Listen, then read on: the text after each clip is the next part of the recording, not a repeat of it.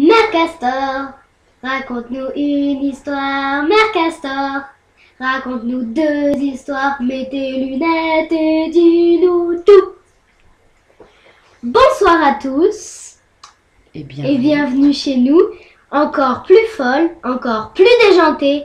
La voilà pour vous servir. merci ma fille. Eh bien, en effet, bonsoir à tous. Euh, comme vous pouvez le noter, nous, sommes, nous avons changé de lieu. Euh, je me suis fait officiellement virer de mon salon par mon fils qui voulait regarder tranquillement la télévision. Donc euh, j'ai l'impression de faire une petite vidéo clandestine ou d'être euh, un otage qui a été enlevé par les FARC et qui parle contre le mur pour se faire libérer. Malgré tout, je suis là, fidèle au poste. Euh, je me suis engagée à faire cette chronique une fois par semaine. Et même si le réveillon a été bien arrosé et on peut encore se rendre compte que les vapeurs d'alcool sont présentes en moi, dans mes fibres capillaires, ce qui peut expliquer cette superbe coupe de cheveux à, à la Godefroy le Hardy, malgré tout, je suis là et je vais donc vous présenter cette chronique littéraire.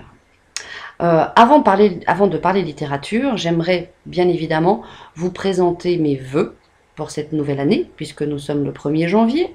Alors, euh, de la réussite, du bonheur, de l'amour, du sexe, du romantisme, de tout, ce que vous voulez, hein, blablabla, blablabla. Bla, bla, bla. Vous connaissez le refrain, vous l'avez entendu à peu près toute la journée. Mais euh, par contre, ce que je vous souhaite sincèrement, ce sont de belles lectures, euh, du rêve, euh, des projets, d'être fidèle à vous-même, de ne pas vous mentir. Voilà mes clés du bonheur pour cette année. Eh bien, je vais vous faire le speech. Hein. Mère Castor va donc vous raconter une histoire. Je vais vous parler aujourd'hui d'un auteur actuel que j'affectionne particulièrement.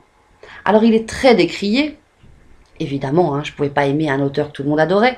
Il est très décrié. Il est plus connu pour ses frasques, pour son côté jet set, bling bling, euh, son côté très parisien, un peu snobinard, pour son goût immodéré de l'alcool et des rails de coke sniffés sur des capots de voiture. Il s'agit de Frédéric Becbédé. J'aime tous ses écrits, j'aime tous ses romans à commencer par Windows and the World, euh, que j'ai beaucoup apprécié, qui est, je crois, un de ses premiers romans, où il s'agit justement d'un récit euh, d'un homme coincé dans une des tours du World Trade Center.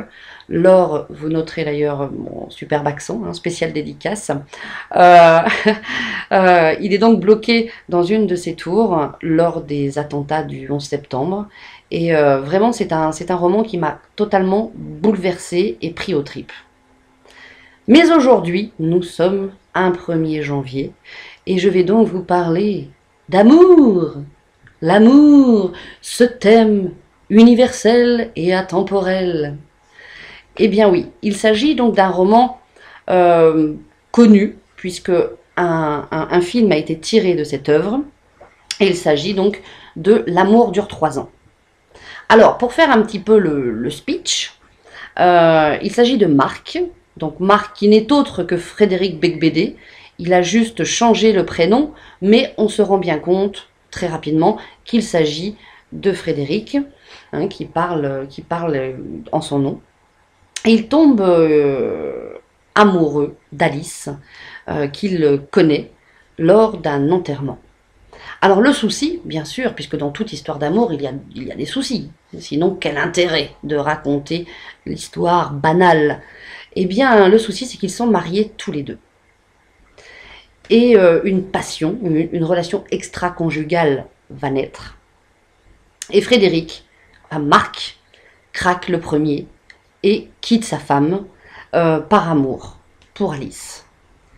Et ce qui est vraiment plaisant dans ce roman, ce que j'aime particulièrement, c'est le cynisme, l'humour de Frédéric Becbédé. Car à la fois, il nous parle de toute histoire d'amour, d'une sorte de théorisation. Hein, il a fait des recherches en biochimie, en psychologie, hein, d'où le titre du bouquin. Effectivement, hein, au niveau scientifique, l'amour, passion, euh, ne dure que trois ans. Et donc, tout au long du roman, il y a ce mélange entre l'espoir qu'il a de conquérir Alice et qu'elle quitte son mari pour vivre cette histoire avec lui, et à la fois ce cynisme, cette lucidité désillusionnée sur le couple, sur l'amour. Et donc il y a un mélange comme ça d'espoir, de désespoir, de drôlerie et à la fois de tragique. Et j'aime ce mélange. C'est-à-dire que même dans les moments les plus difficiles de cette histoire, il arrive toujours à faire un petit peu d'humour, euh, le petit mot qui fait mouche, qui fait sourire, qui fait rire. Et j'apprécie vraiment son style. Donc euh, voilà, on va voir dans ce roman si finalement euh, la théorie a raison sur la pratique, ou au contraire, est-ce que l'existence est plus forte que la théorisation? Voilà pour ce roman. alors au niveau des notes, Hein, puisque j'attribue des notes. Euh, au niveau stylistique, moi j'aime beaucoup, j'insiste, j'aime beaucoup le style de Frédéric Becbédé. Je trouve que c'est extrêmement bien écrit et euh, je, ne comprends pas qu'il soit autant décrié. il y a des passages où j'ai eu l'impression que, c'est moi qui aurais pu écrire euh, ce livre-là. C'est vraiment les mots que j'aurais choisis. Et avec cette décontraction qu'on lui connaît. Donc vraiment au niveau stylistique, je mettrais un bon 8. Au niveau intérêt fictionnel, euh, j'ai beaucoup apprécié ce roman. Donc ça serait un 7 ou 8 également. Donc je vous le conseille, il est très court. Argument de plus, hein, les jeunes ils adorent, hein, dans leur fiche de lecture, c'est pourquoi as-tu aimé ce livre? Parce qu'il est court. Donc Argument de plus, il se lit très très bien, très rapidement. Donc je vous le conseille vraiment pour ce début d'année, un joli petit roman d'amour. Voilà, et eh bien écoutez, je vous... Oh les mains! Lire, c'est lire Elle est folle! Eh bien nous vous souhaitons une belle soirée, une belle année, et n'oubliez pas, qu'est-ce qu'il ne faut pas oublier? Lire, c'est oui